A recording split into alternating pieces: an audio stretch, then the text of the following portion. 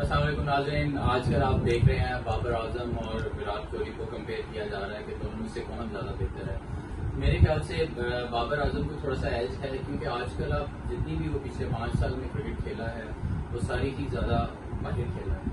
और विराट कोहली को बहुत ज़्यादा मौका मिला नो डाउट के अच्छे प्लेयर हैं, लेकिन उनको होम एंड अवे का एडवांटेज बहुत ज़्यादा है। होम में खेलने का एडवांटेज होता है, इससे कि फॉर्म और बड़ी इनिंग्स खेलने का मौका मिलता है। लेकिन बाबर आज़म जो है, वो एक बहुत ही समझदार प्लेयर है, मैं समझता हूँ। अपने लिमिटेड सोर्सेज में स्टेक बहुत कम करते हैं। कंपेयर टू बाबर आज़म और विराट कोहली विराट कोहली को आउट करना आसान है, क्योंकि बहुत ज़्यादा अग्रेसिव है।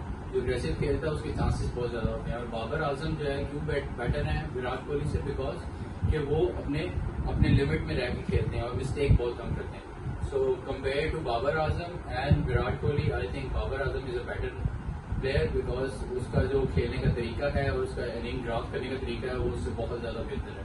तो आई थिंक बाबर आज़म